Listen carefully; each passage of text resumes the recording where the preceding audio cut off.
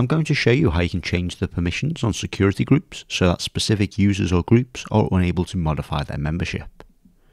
So if we come over to Active Directory users and computers, I've got two security groups.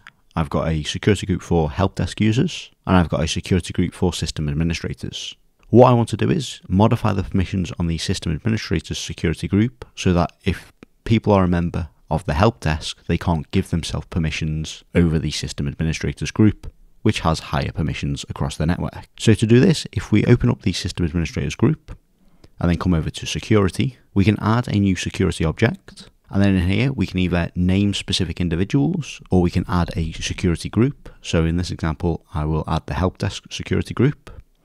And then what I want to do is I want to deny them full control over the system administrator security group and then just give them read access to it so they can obviously see information about the security group as well as who is a member, but they are unable to make any changes and give themselves permission to the security group. So if I apply these changes, it will give me a warning to say that the deny entries take precedence. So if someone is given access to modify the security group as well as denied access to modify it, the deny will be enforced and they won't be able to modify the permissions.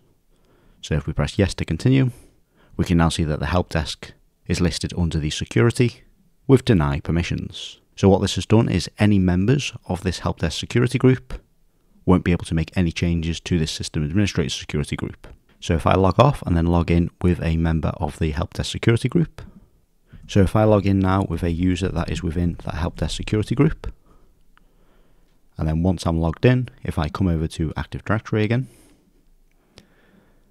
if I then come to the system administrators group, I can't make any changes to the notes or the description, and I can't add or remove any members of the security group because the user account that I'm logged into is a member of the help desk.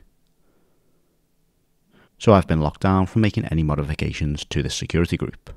So that's how you can lock down security groups to stop people giving themselves access to resources they potentially shouldn't have access to.